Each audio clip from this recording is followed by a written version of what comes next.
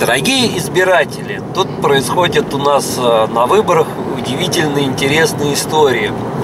А, эта история касается в первую очередь э, одного моего конкурента, что значит одного, конкретно тележурналиста Жени Попова.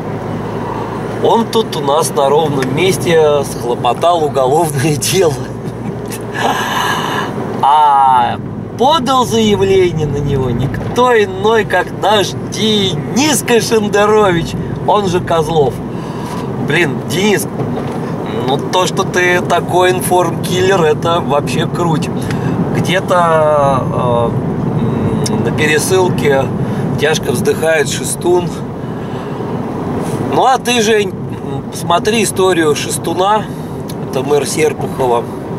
Вот, э, прикинь, как бы даже если ты э, вдруг не, внезапно станешь депутатом, уголовное дело это означает моментальный отзыв твоего мандата и